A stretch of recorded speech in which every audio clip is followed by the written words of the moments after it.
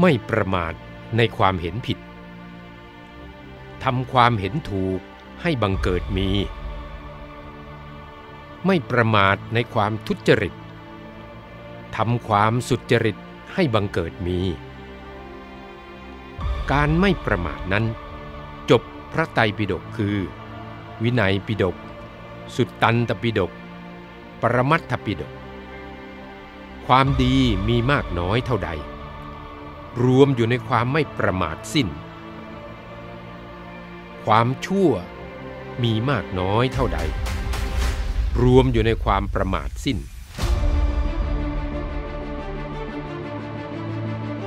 พระธรรมเทศนา พระมงคลเทพมุนี สดจันทสโร พระผู้ปราบมาร